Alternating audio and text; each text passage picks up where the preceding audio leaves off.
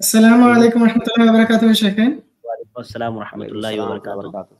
जी, यूनुस जी शेख, तो ये जो निचली होठ का नीचे से जो बाल हैं वो दाढ़ी में शुमार किए जाएँगे शेख? कौन सा बाल? अ, निचले होठों हाँ, होठ के निचले वाले हिस्से के। होठ निचले नीचे वाले वाले। जी, जी, जी।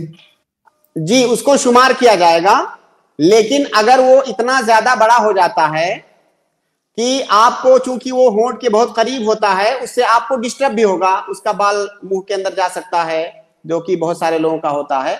तो आप उसको इतना जो है संवार सकते हैं कि वो आपको डिस्टर्ब ना करे, वरना वो भी उसका शुमार भी दाढ़ी में है। हालाँकि ये इख्तिलाफ़ी मसला है, लेकिन सही बात जो है वो की दाढ़ी में है।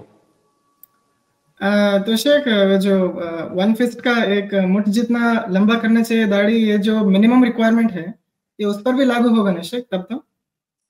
अगर दाढ़ी में हाँ, शुमार है। हाँ, देखिए दाढ़ी में जितने बाल हैं, उन सारे बालों का एक साइज़ होना ये रिक्वायरमेंट थोड़ी है। जी।